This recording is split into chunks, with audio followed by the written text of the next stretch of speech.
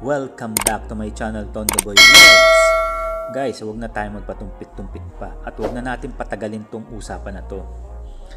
About sa basketball team ng Barangay Ginebra, nagsimula noong panahon ng paborito nating manlalaro o ama ng basketball na si Coach Robert Jaworski. Alam natin na isa sa mga bad boy ng PBA to. Alam natin na siya ang ama ng walang sawang sinusubaybayan ng ating mga magulang simula pang mga bata pa tayo. Kaya marami na antig ang mga puso, kaya hanggang ngayon, tinatawag pa rin sila na Never Say Die, Barangay Hinebra.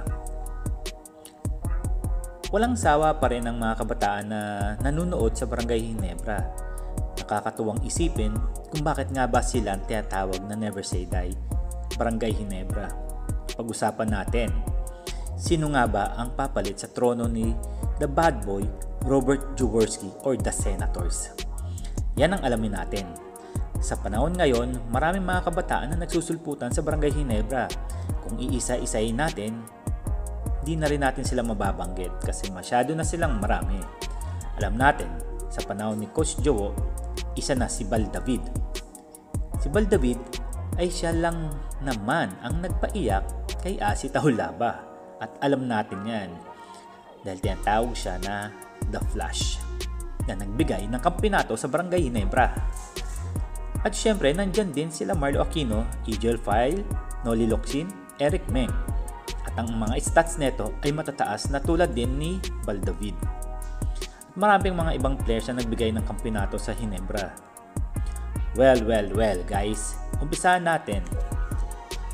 Ngayong panahon na ito, kung sino-sinong mga players na manlalaro na palaging sinusubaybayan ng mga kabataan.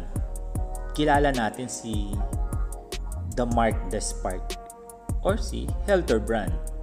Siyempre, and more guys. Habang tumatagal ang mga panahon, isa-isa silang nawawala o bumabagal o nababawasan ng oras. Ang kanilang laro, siyempre tumatanda na sila. Alam naman natin yan mga pare koy. Guys, ngayong season na ito, alamin natin kung sinong sa mga generation na ito ay hindi rin biro dahil nagbigay rin sila ng kampyonato sa Barangay Ginebra. Unahin natin si Mark Agiwa at JJ Helterbrand. At alam nyo bang itong dalawa na ito ay nagbigay ng panalo o kampyonato sa Barangay Ginebra? At nabanggit ko na yan sa inyo kanina pa. Mataas ang stats na itong dalawa. Siyempre, hindi ko na babanggitin kasi nga mahaba na mga naipanalo na itong dalawa na to ang nagbigay ng MVP o kampinato.